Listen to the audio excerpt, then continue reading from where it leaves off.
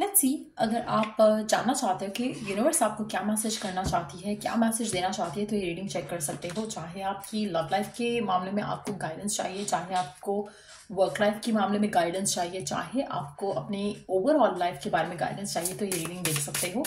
इस रीडिंग में हम जानेंगे कि यूनिवर्स की तरफ़ से आपके लिए क्या मैसेज है, आपकी करंट सिचुएशन को लेकर। सो स्टे ट्यून्ड और रीडिंग शुरू करने से पहले रिमाइंड करवा दूँ कि ये एक जनरल रीडिंग है। सो पिक एवर रेजोनेट्स और अगर आप पर्सनल रीडिंग्स चाहते हो पेपाल से या इजी पैसेज पेमेंट कर सकते हो सब कभी रीच आउट करो ताकि आपका भी टाइम वेस्ट नहीं हो और मेरा भी। तो क्या मैसेज देना चाहता है यूनिवर्स आपको राइट right नाउ आपकी करंट सिचुएशन के हिसाब से? लेट्स सी यूनिवर्स का क्या मैसेज है आपके लिए करंट सिचुएशन में? वाओ कार्ड्स देखो कहाँ जा रहे हैं।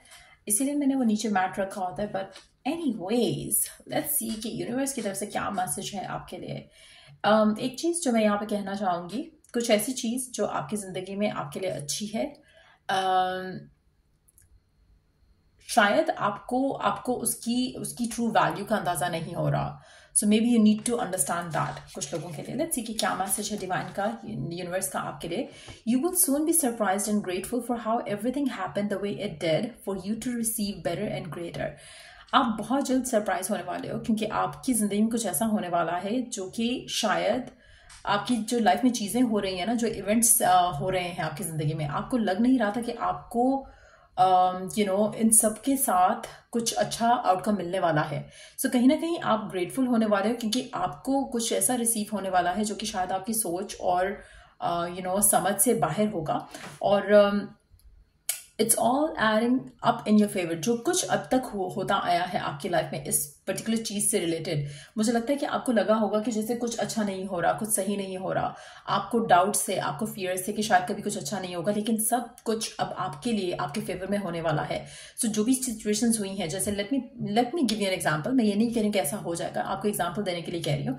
जैसे कुछ लोगों के लिए अगर आपकी ज़िंदगी में एक एक पर्सन से यू नो सेपरेशन हो गई। चाहे वो आपका हस्बैंड वाइफ गर्लफ्रेंड बॉयफ्रेंड कुछ भी था, आपकी सेपरेशन हुई, आपको लगा कि सब गलत हो गया है। लेकिन एक्चुअल में वो सेपरेशन हो सकता है कि आपके लिए बहुत मीनिंगफुल रही हो।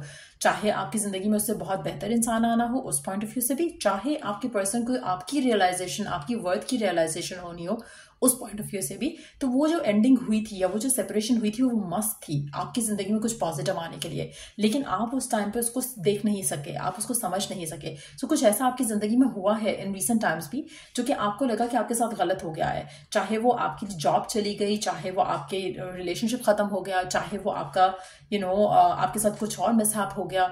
लेकिन आपको नहीं पता कि इस मिसहैप के बाद आपकी ज़िंदगी में जो पॉजिटिव चेंज आने वाला है वो नहीं आता अगर वो मिसहैप नहीं हुआ था। तो कहीं ना कहीं कुछ ऐसा हुआ है आपकी ज़िंदगी में जिसको लेकर आप परेशान होते हो, लेकिन उसी चीज़ को लेकर अब आप थैंकफुल होने वाले हो, क्योंकि उसकी वजह से कुछ बहुत अच्छा आपकी ज़िंदगी में होने वाला है।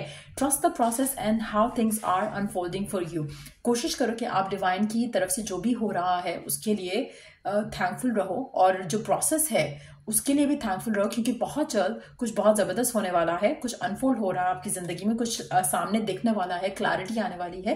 Be prepare to receive that clarity तो डेफिनेटली कुछ यू नो ऐसी चीज़ जिसको लेके आप वॉरिड हो आपको वॉरिड होने की ज़रूरत नहीं है वो आपके लिए uh, उसका जो आउटकम है वो पॉजिटिव ही रहेगा। जैसे कहते हैं ना ब्लेसिंग इन डिस्गाइज उसको इसीलिए कहते हैं क्योंकि जब आपको लग रहा है कि शायद कुछ गलत हो गया आपके साथ, लेकिन वो आपके लिए ब्लेसिंग इन डिस्गाइज है। जैसे आपकी जॉब छूट गई, हो सकता है कि आपके लिए जो नेक्स्ट जॉब ऑफ़र आ रही है that is what you deserve हो सकता है कि आपकी टेन थाउज़ेंड की जॉब थी और आपको ट्वेंटी थाउज़ेंड की जॉब मिलने वाली है तो आपको शायद लग रहा है कि आपके साथ कुछ गलत हो रहा है और आप अपसेट हो रहे हो। लेकिन एक्चुअल में आपके लिए बहुत कुछ अच्छा होने वाला है। इस गलत होने के बाद आपके साथ कुछ अच्छा होने वाला है। So start believing and having faith कि आपने जो दुआ की, आपने जो यू नो विश किया, आपकी वो डिज़ायर पूरी होने वाली है। So try not to think negative right now और प्रिपेयर करो अपने आप को कुछ अबंडेंस के लिए। लेट्स सी और क्या मैसेज है यूनिवर्स का आपके लिए। Let's see live your life to its fullest potential let go of the need of approval from others कोशिश करके अपनी लाइफ टू द फुलेस्ट जो है वो जियो। अगर आपको किसी भी चीज़ के लिए कोई भी आप डिसीज़न लेते हो उसके लिए आपको दूसरे का अप्रूवल नहीं चाहिए है। Live up to your own expectations and nobody else's आप जो भी अपनी लाइफ में चूज़ कर रहे हो करने के लिए um, आपको खुद की एक्सपेक्टेशन पे पूरा उतरना है। आपको किसी को इम्प्रेस नहीं करना आपको किसी से कम्पीट नहीं करना। आपको अपनी एक्सपेक्टेशन से पे पूरा उतरना है और किसी और की एक्सपेक्टेशंस पे नहीं। No more selling yourself short कोशिश करो कि आप अपने आप को लेकर you know settle in for less नहीं करो in any possible way keep moving forward you got this आप अपनी ज़िंदगी में आगे बढ़ते चले जाओ, इस थॉट प्रोसेस के साथ, इस माइंडसेट के साथ, और आपको डेफिनेटली सक्सेस मिलेगा. तो आपको यू नो कुछ लोग होते हैं ना कि हर चीज़ में आपको लोगों का अप्रूवल चाहिए होता है. आपका कुछ करने का दिल कर आप नहीं कर रहे बिकॉज़ आपको लगता है कि लोग क्या कहेंगे या लोग मानेंगे या नहीं मानेंगे. आपके आइडियाज़ आपके थॉट्स आपके विजन्स आपने बस अपने विजन्स को पूरा करते चले जाना है and you will be happy that you did so let's see कि और क्या मैसेज है यूनिवर्स की तरफ़ से आपके लिए करंट सिचुएशन में. Love yourself more by saying no to the things that feel draining and burdening for you पहली चीज़, अपने आप को प्यार करना सीखो, अपने आप को वैल्यू करना सीखो।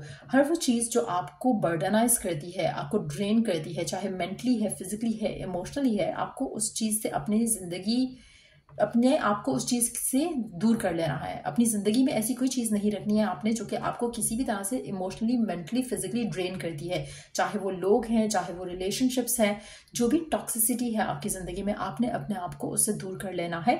Saying no when you want to say no instead of saying yes to please other people is a real act of self love सबसे ज़्यादा इंपॉर्टेंट चीज़ ये है कि कभी कभी हम दूसरों को खुश करने के चक्कर में हाँ हाँ या ना कह देते हैं उनकी खुशी के लिए, लेकिन उसमें आप अपनी आपको प्यार नहीं कर रहे हो उसमें आप अपने आप को वैल्यू नहीं कर रहे हो। आप कुछ नहीं करना चाह रहे लेकिन आप किसी दूसरे की खुशी के लिए करते हो उसमें आपकी अपनी सेल्फ वर्थ सेल्फ वैल्यू खत्म हो जाती है। सो so, कोशिश करो कि यू डोंट डू दैट आपने वो करना है जिससे आपको खुशी मिलती है जिसमें आपको हैप्पीनेस मिलती है। हाँ एज लॉन्ग एज कि आप किसी को हर्ट नहीं कर रहे हो in the process it's about you only तो मुझे लगता है कि आपको वो करना चाहिए जो आपको यू you नो know, आपका आपका दिल करता है। और किसी को खुश करने के चक्कर में हाँ या ना नहीं कहो।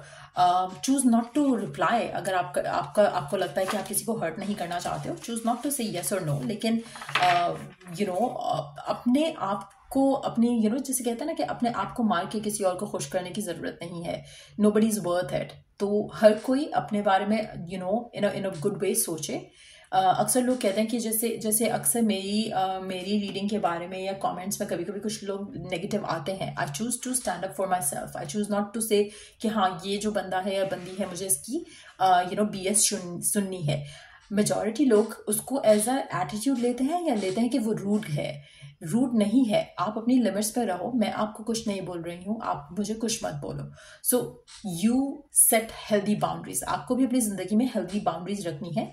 अगर आपको कोई इमोशनली ड्रेन कर रहा है अपनी नेगेटिव बातों से अपने नेगेटिव ओपिनियन से आपको वो चाहिए ही नहीं है ना?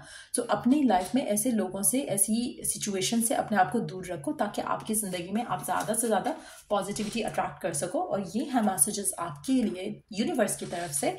और they all are such a wonderful messages अगर आप इन मैसेजेस के ऊपर काम करोगे तो डेफिनेटली आपकी ज़िंदगी में आसानियाँ भी आएँगी खुशियाँ भी आएँगी। सो so, ये थी um, आपके लिए। अगर आपको हेल्प मिला हो गाइडेंस मिला हो तो लाइक शेयर और सब्सक्राइब ज़रूर किया करो और कमेंट सेक्शन में बताया भी करो कि इससे आपने क्या लर्न किया। So till I do the next reading आप लोगों के लिए टेक केयर बाय